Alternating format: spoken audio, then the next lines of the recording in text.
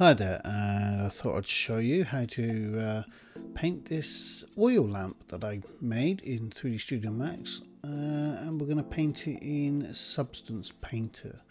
It's quite high poly, um, not suitable for a game as it is, it'd have to be reduced somewhat, uh, but I thought it was a good object to paint so uh, so that's what I'm going to do. And it's got it's an interesting one as well because it's got glass and metal uh, two different materials and I set up a, set it up as a multi-sub object as you can see with two different materials two material IDs one metal and uh, one glass. And uh, I'm just going to export it as an FBX so we can get it into Substance Painter. There we go oil lamp yeah. My other FBX files export. Save that yes just uh, click these two that's fine that's all you need and click OK and export it.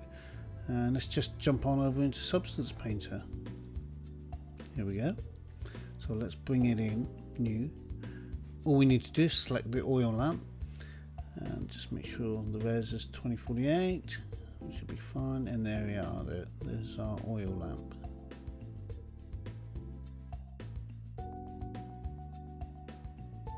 Okay, you can see there's the two materials in um, that I set up in 3D Studio Max. It's come through quite nicely into Substance Painter. The first thing I'm going to do is set up the basic lighting uh, and I choose you know different ones for different things but this is quite neutral setting.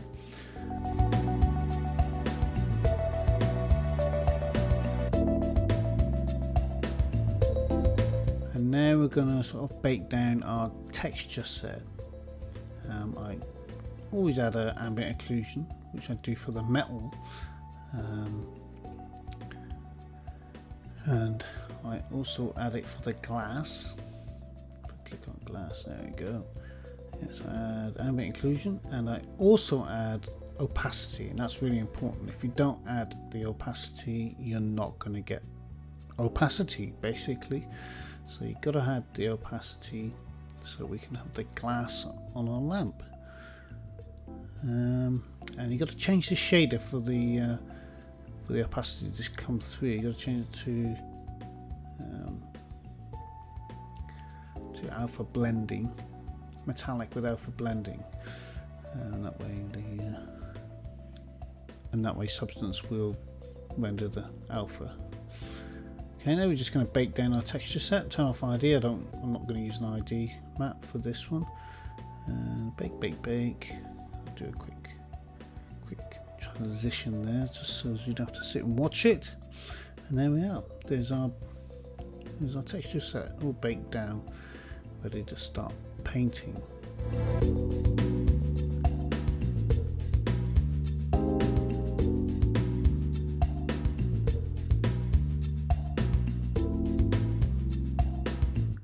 The ambient occlusion working quite nicely.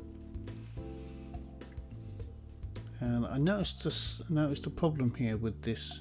The smoothing group didn't come across on this little twisty handle thing. So I'm going to nip back into 3D Studio very quickly and sort that out.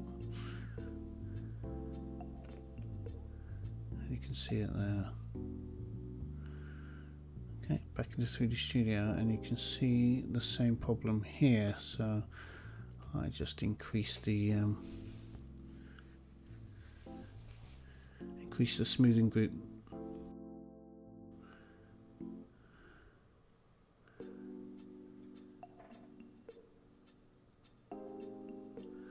Yeah, the smooth between you know, just increase the angle uh, to 90 and we we smooth it and it's then fine. If I turn off the edges, there you go, there, that's much better, you can see it now. Look.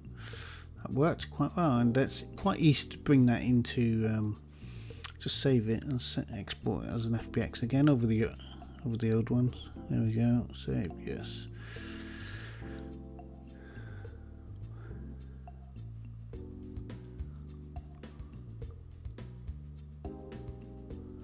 And now you just bring it in as long as you don't change too much substance lets you remote you know re load the model. Substance lets you re reload the model and it sort of merges it back into the same file. So you just go in and select the same file, open, don't change anything, you don't need to tick anything there. Just click OK and it'll bring it in and swap it out. We use the same maps, texture sets and everything and you can see that's fixed that that problem there. Looks pretty round. Okay.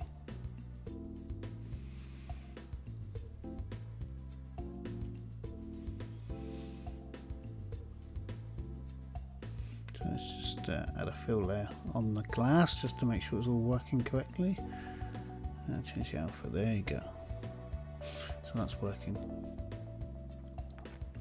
The roughness off.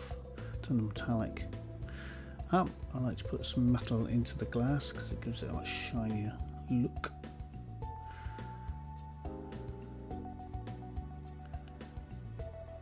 Uh, just making just just finding a colour to paint it in there. And this is when I choose the red the red colour. I'm not going to keep this layer. I'm going to delete it in a moment. Uh, but I just want to decide which colour and I quite like red. So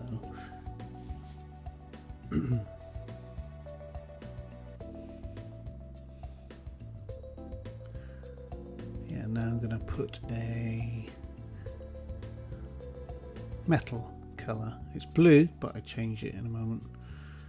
Just change the order of that. Or delete it. Yeah, delete. There you go. So.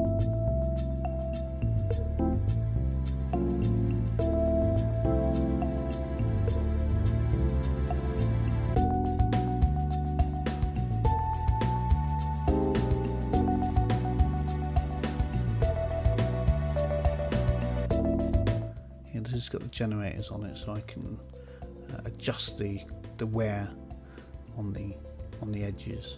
And it uses the maps I baked down earlier to determine where those those edges are and where the wear goes on those edges. Uh, you can see I've just changed it back to red again. Just by altering the uh, material color the base color on the material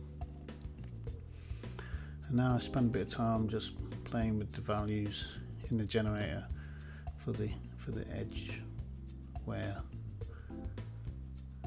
you could spend a lot of time doing this and and I do in fact sometimes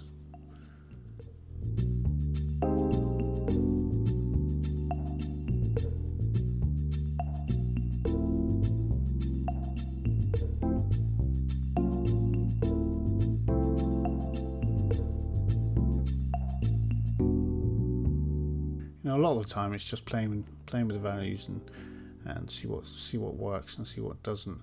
But I'm a bit of a painter. I like to paint on the object, and you'll notice quite a lot of the time I sort of paint just color onto a layer, and then I go back afterwards and add some texture to it. Some you know, I paint into the uh, into the height map afterwards rather than whilst I'm doing it. Uh, you know, just adding a base sort of metal layer there with rust. Because I'm going to expose some of these parts as rusty metal later. Add a black mask so uh, so I can mask some of it out. I'm going to use polygon select here to select the areas that I want to use this metal rusty or steel, I think it was steel rust with. It's quite handy to have that. You can just go in and select the select the polygons. Pretty awesome. Makes things a lot easier.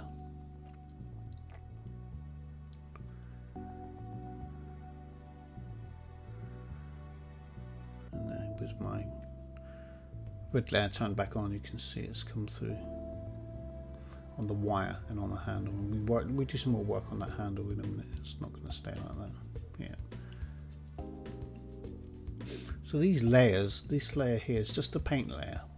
What it lets you do is lets you paint into any of the texture set basically. And here I'm going to paint some holes well, I'm, I'm painting basically straight into the height map and I'm going to create what looks like holes.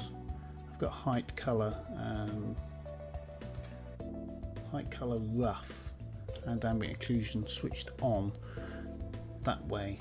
I can make it black, give it some, you know, give it paint into the normal to give it some height and um, and make it dull so it's not shiny because I don't want these holes obviously to be shiny. I want them to look like holes. I think they look pretty cool actually. Now I do a whole series of holes in the top of the glasses top of the glass this kind of lets the heat out these are heat hose I think in the uh, the real world. I think they're used for, to release some of the heat. So it doesn't all build up and explode, basically.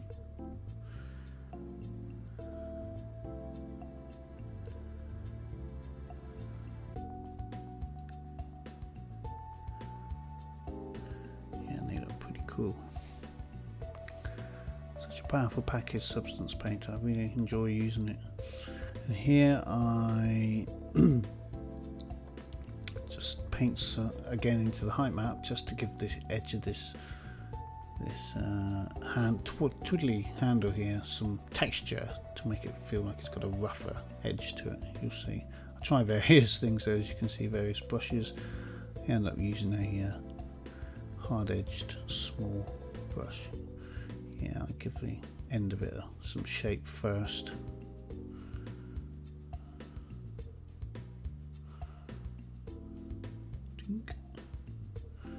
Just make sure it's not too shiny.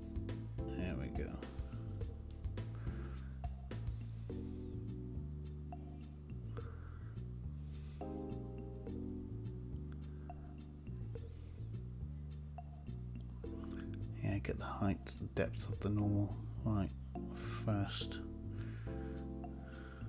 It's just all these little details that make a big difference when you're um, when you're painting these sort of objects. You know, all the little details make up make up the whole. You know, they always say design is in the detail, and that's exactly what this is. Doesn't look like much, but it it's just something your eye notices somewhere in your deep conscience.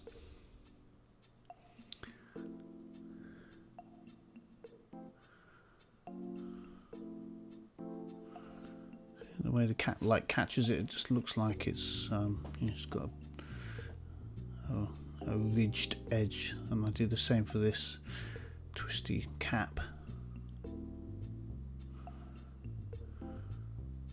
I use the line tool here. You just hold Shift and click, hold Shift and drag the line, and then let go, and it does a line, which is really handy. I'm sure there's tools to do all these things, but I, like I say, I'm a bit of a painter, so I like to do things by hand a little bit.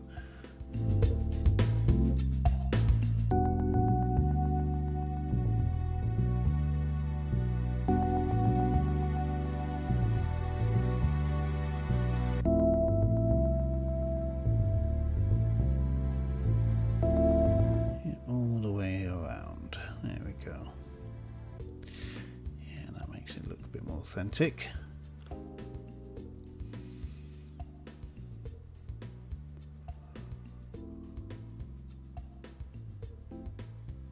Okay, just separating some more of the object, um, making it more metal rust elements.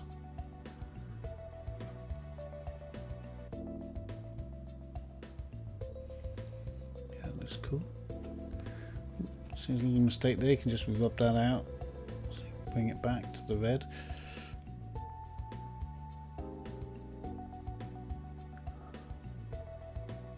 Okay, now just try to make a little dent to give you the impression there's a hole here where the where the little twisty handle goes into the metal. It kind of works, you know, if you weren't paying attention as to how I did that, it would it'd be enough to catch your eye and go, oh yes, it's going inside there.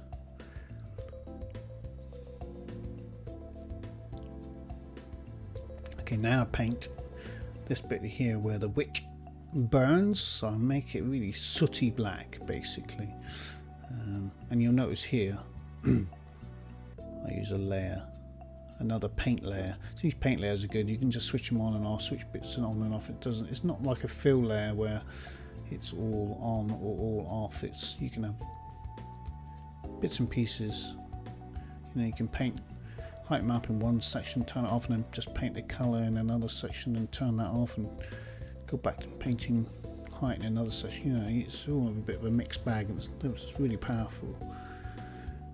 Um, here I'm just painting, um, just, there's no height in this.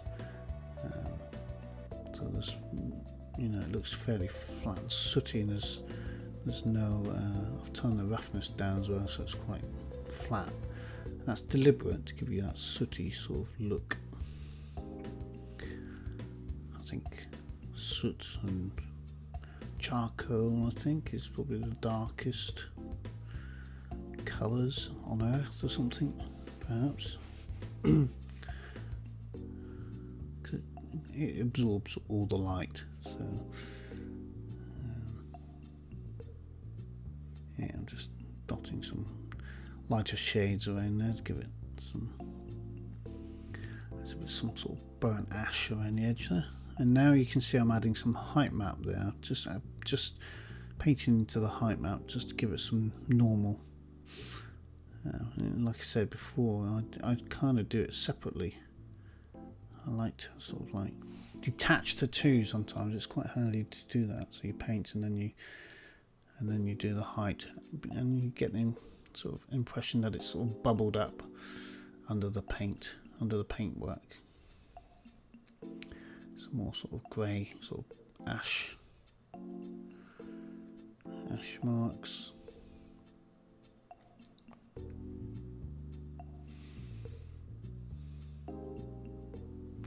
And I attempt to put some even lighter particles down, but I kind of get rid of this pretty quick because it didn't work. So.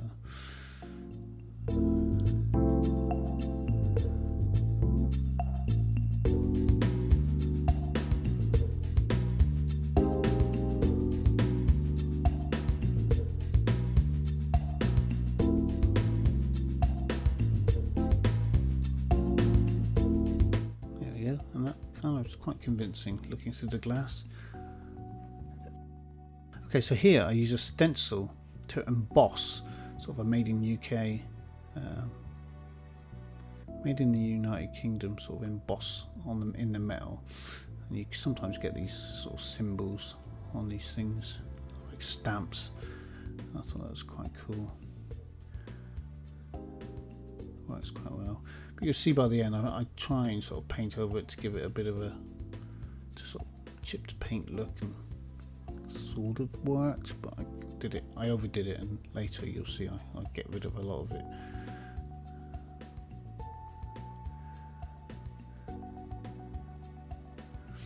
And now I sort of paint some dirt between the letters. Get the right colour. And I start sort of painting and I fade out because it takes a little bit of time, so I sort of fade and then come back up when it's a bit more finished. There we go. So you get the sort of oily dirt in between the letters, which is quite cool. This is where I think I yeah, I play with the height map here. I sort of sweep across it uh, to take out some of that height map to give it a bit more of a, flattened look. Uh, before that, I do this. I do the uh, dents around the bottom.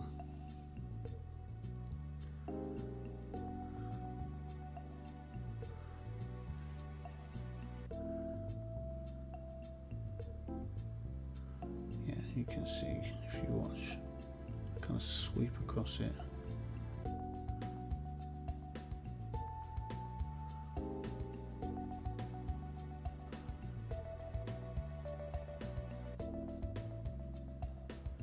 Take off some of the white. You can see there, which I did not want.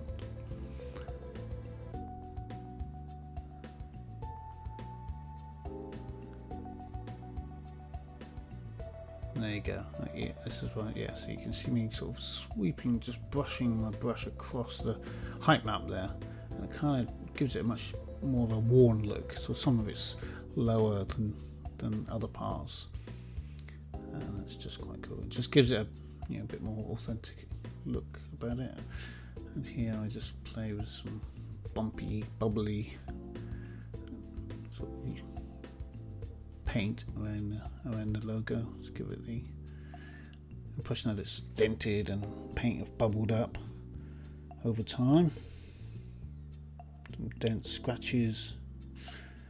Yeah, and now here we go. Start painting some dirt all around the base of the object, of the lamp.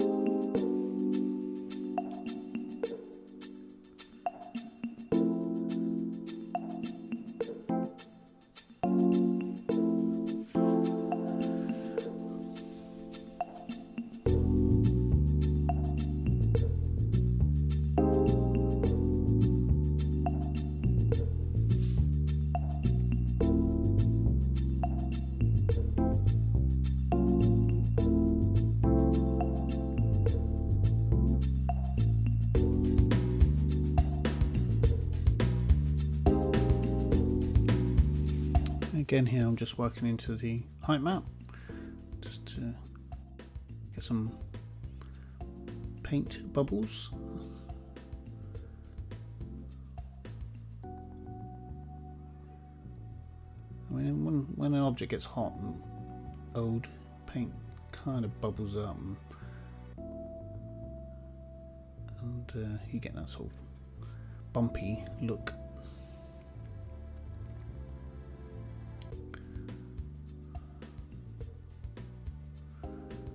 Here I, um, I paint a big black hole underneath that metal thing in the center there.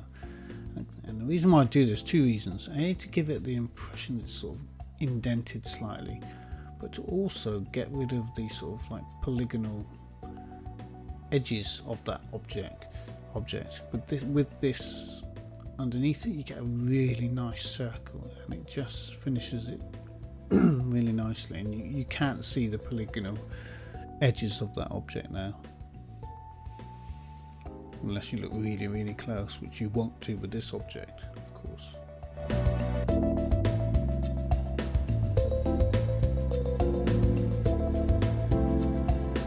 Start painting in some dirt in a lot of the crevices and the, the smaller gaps.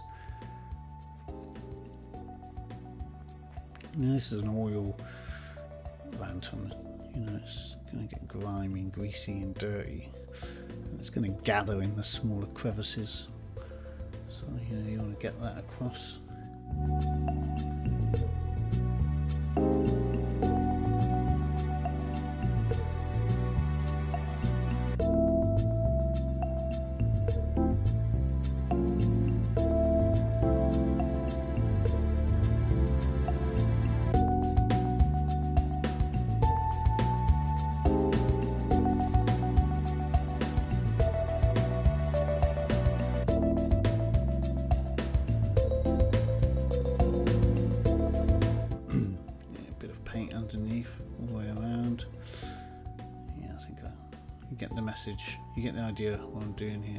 Just leave that.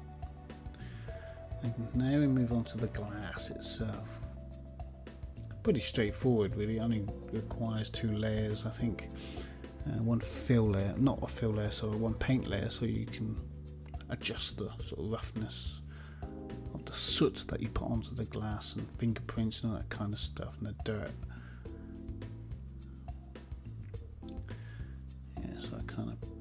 Get the level of roughness right first. There you go. and then start painting around the bottom to give the impression that you know the glass has been burnt or gathered dirt around there.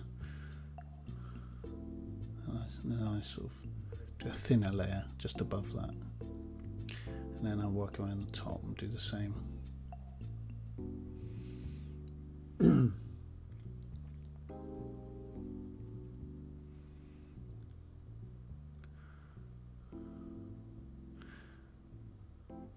okay, here I start working into the actual normal of the glass itself just to give it a sort of texture because I just think over time it would have got scratched possibly slightly warped with heat you know these you know it just gives it a bit more character.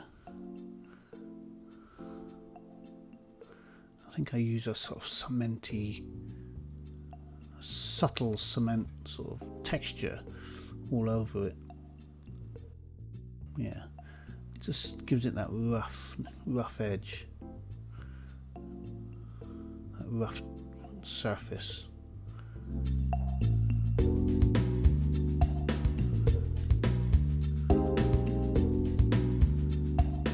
This is where I'm putting some fingerprints on it, I think. I'll do the, yeah, just finishing it. Just finish this off first.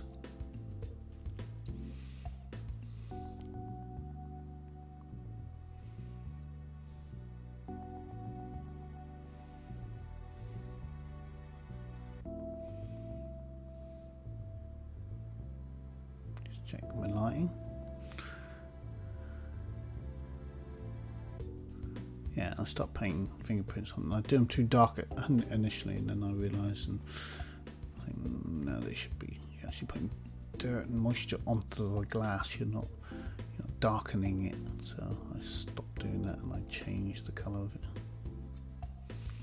Something a lot brighter.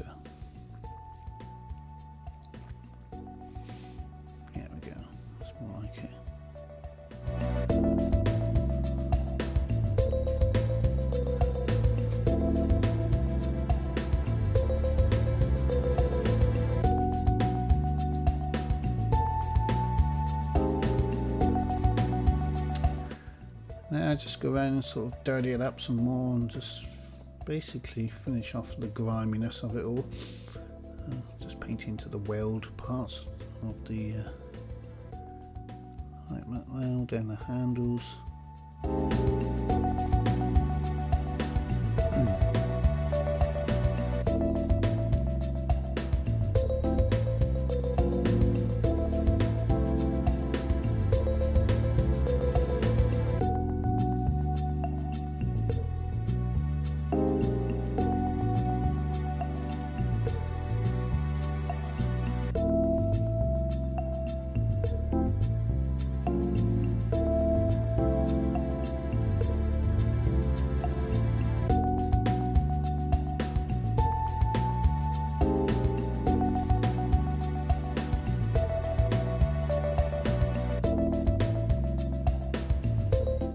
Just more grime, more dirt, more soot, more blackness, and uh, dirt around the top and handling the crevices where it would go. I know there's generators that will do this for you, but you know I like to do it by hand. I think it's you know you get a bit more of an authentic feel to it.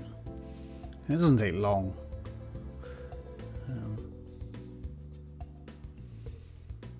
I do use the uh, generators and the uh, smart materials sometimes, but you know, it depends what object I'm working on. So, yeah, here I'm working to the height map some more. Let's bubble it up a little bit.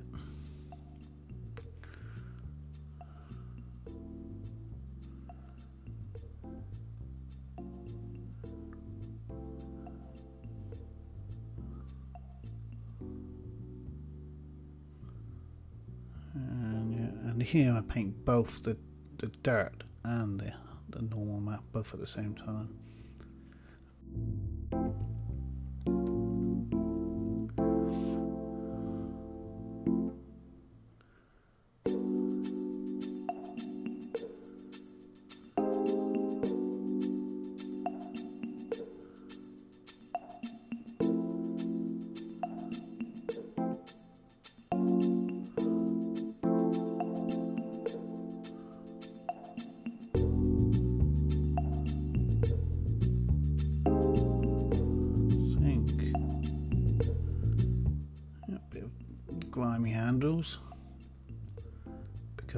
Be.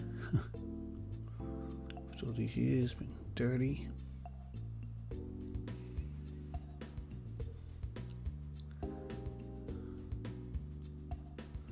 And there we go I think.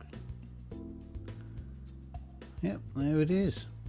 And that's the oil lamp done and dusted. If you want to see you know if you want to see something specific an element of that at a slower pace. I can do another video and, and I've got all this in slow motion. It took about two hours I think in total so I had to speed it up.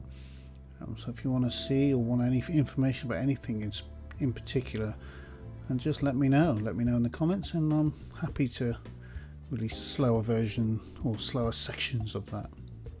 So I hope you enjoyed that and I'll see you next time